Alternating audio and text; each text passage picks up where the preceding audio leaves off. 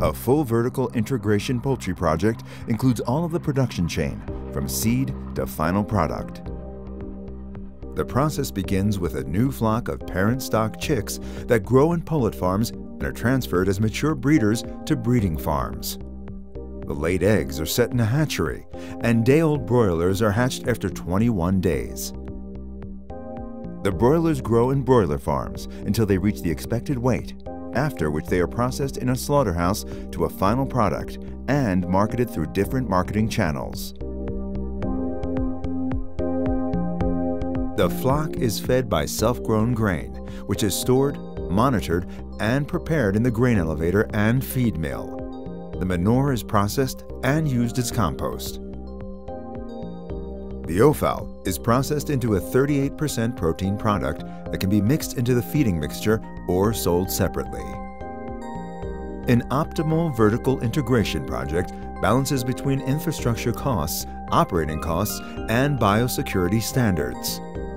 We will locate our project within a 20 kilometer diameter around a town center and use the existing labor force, roads, train tracks, water, gas, and electrical infrastructure. The pullet farms, breeding farms, and broiler farms will be kept at a distance from each other for biosecurity reasons. The pullet farms will be positioned near the far end of one road, along with the hatchery. The breeding farms will be positioned along a different road, on the same side as the pullets. The broiler farms will be positioned on the other side of town, along the two remaining roads. The hatchery is the most vulnerable site to biohazards and will be positioned around 5 kilometers from the town and at least 1.5 kilometers from the pullet houses. The rest of the farms will be positioned at a distance of 1.5 kilometers from each other. This setup allows an optimal balance between biosecurity and operating costs. The relatively short distances between the farms keeps the cost of logistics at a minimum while still enough to contain potential biohazards to a single site. The sites with the most workers are the meat processing site and the feed mill. We will locate them on opposite sides of the town. The feed mill will be located near a train track that can be used to ship material in and out.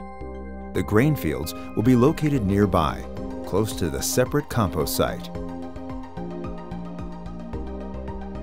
In reality, due to the regulatory, safety, or other constraints, the optimal vertical integration solution cannot always be implemented.